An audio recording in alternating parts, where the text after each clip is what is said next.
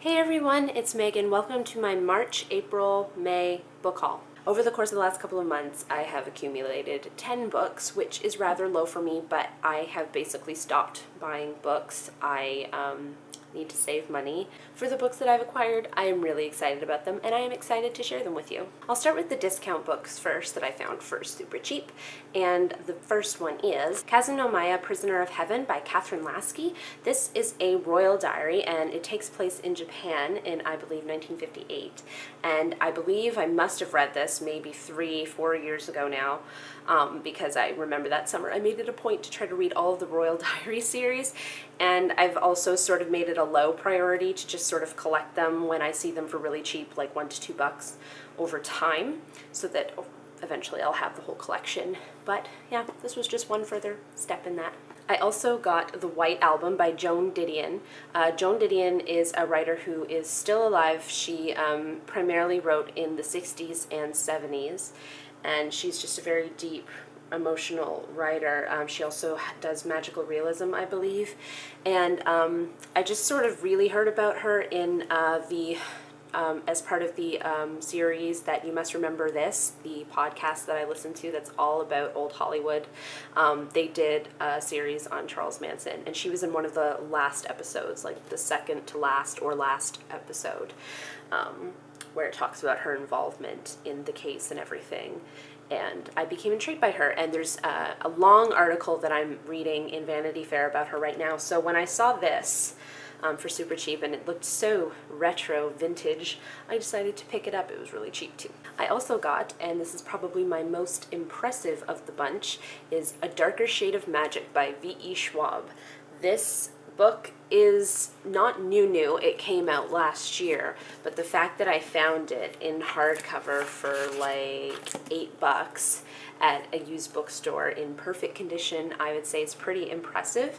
Um, the second book is out, but I, would, I doubt that I'll buy that, if only, maybe if I see it um, for the same price somewhere else and get lucky. But I just couldn't pass this up. Um, I, I'm a little fuzzy on remembering the details right now, but I believe there are like three or four uh, different kind of time dimensions of London.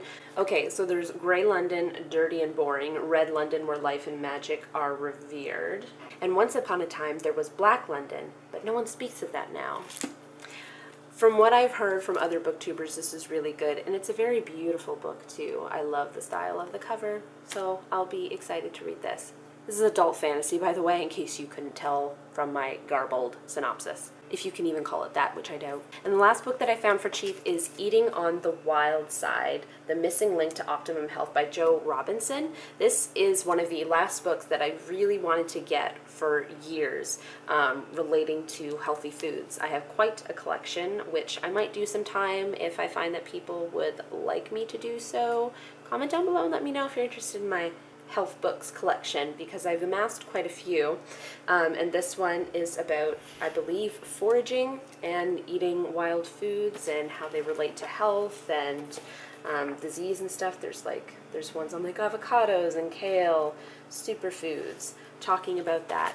So the fact that I found this is really impressive because I picked it up and put it back at chapter so many times when it was a paperback for $20 and I found the hardcover which is was $30 once upon a time for like three or four dollars so that was quite a bargain. So now on to the full price books. Um, again, I got these over the course of two, three months. I think Matt got me a couple and um, uh, the first two that I'll mention here are ones that I got when I finished school and just was really proud of myself for getting through that and sort of wanted to treat myself. And so the first book I got was Murder, She Wrote, Domestic Malice uh, by Jessica Fletcher and Donald Bain and it's based on the TV series that I love so much. It's got that 80s gloriousness. I love the covers, and I love that she's always like Photoshop there, Miss Angela Lansbury.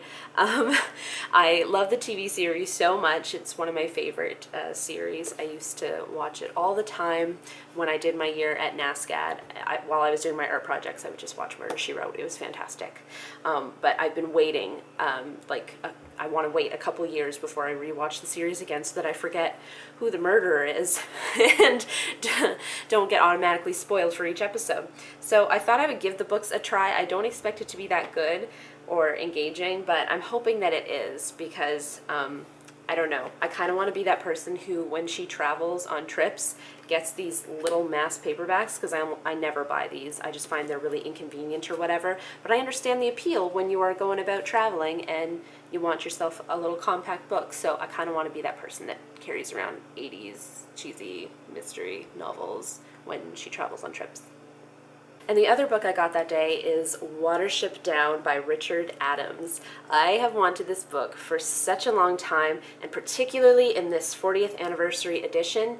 It is stunning to me, let me say. I love that it looks just like somebody took watercolor or pencil crayons and just did up this cover it's fantabulous. Um, if you don't know what this is about, it was made into a children's movie in the 80s, which wasn't very children's like at all. But it's about these characters, like called Hazel, Fiver, Warren, and they must take their clan of bunnies and flee to somewhere safer where they can have their young. That was a terrible synopsis, but basically they are dreaming of a better life, and it shows just how fraught their lives are with danger. It's basically like a thousand ways to die if you're a bunny. So not very happy story, but it is a classic, and I have wanted to read it for a long time, so now that I have it in the edition that I want, I'm really looking forward to reading it. For my next three, I have some feminist gender-related reads, and the first one is Delusions of Gender, How Our Mind, Society, and Neurosexism Create Difference by Cordelia Fine. I saw this on Jen Campbell's channel, and um, I became intrigued um, by it and what it was about, and it's just basically breaking down gender roles, gender norms, how they came to be, and what they really mean for us as a society, how they affect things, and do they really exist? Should they exist? Um, that's what this is about, and I'm really excited to read this and gain a new perspective on things and sort of develop my opinion on this matter further.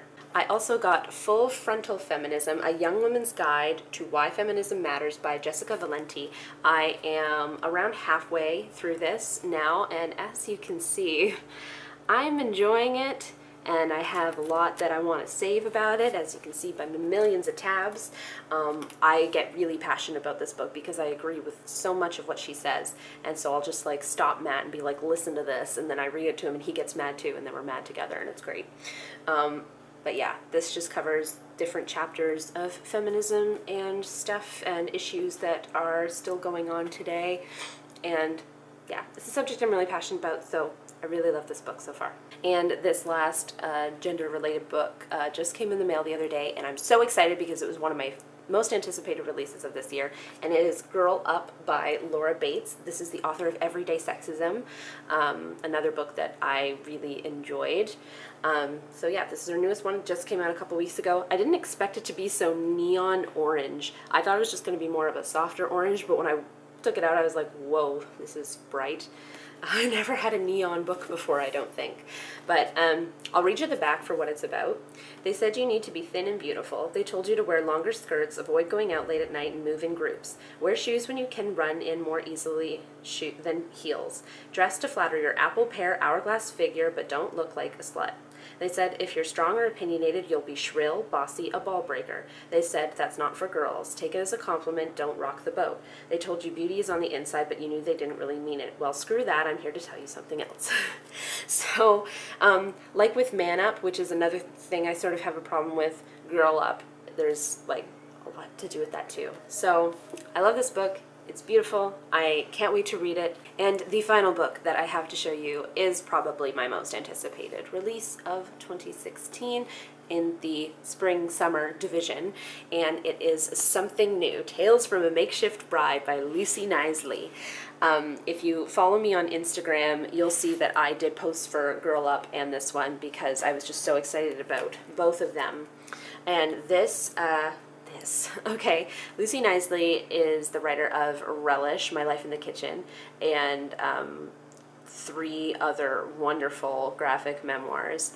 And so this one, which is her biggest yet, I'm just so excited about it, um, is about her becoming engaged and her wedding. And part of it, like, I love weddings and I love the idea of planning just anything. So when it's gonna come to planning my own wedding, that'll be such a thrill. But yeah, I'm gonna really enjoy watching her plan her wedding. And she also, I believe, goes into the history, sort of the feminist relations of history for of weddings and brides and things like that. So I really look forward to that too. I'm just so excited to finally have this. This uh, just came out like last week on the 3rd or the 4th and I'm so glad to have it. So those are the 10 books that I've amassed in the last two, two and a half months. So comment down below and uh, let me know if you have any opinions about the books that I've selected or let me know if you have read any of them um, as well. I'd love to hear your opinions on them. And that's it for this video today. I hope you enjoyed it. I hope you have a great week and I shall see you soon with another video. Bye everyone!